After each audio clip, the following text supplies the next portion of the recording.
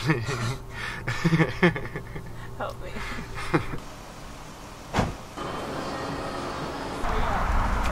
Yeah, she was from all time. Didn't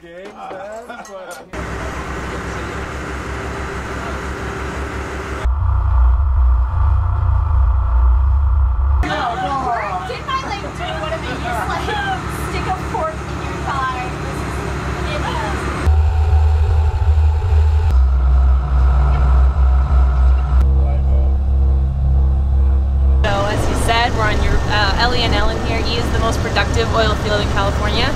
So these are not the ones that are going to be coming out anytime soon, but they will at some point. So just be keep that in mind when you're looking at the life down there and see, you know, what would this be like if it was reefed? Do you think this is a productive idea? Is this a good idea or not? So just keep that in mind. Yeah, some of you have done this platform before, some of you have not. Not a big deal. But the biggest difference with the platform is it is that I've been especially when you're on a current, you're going up and down.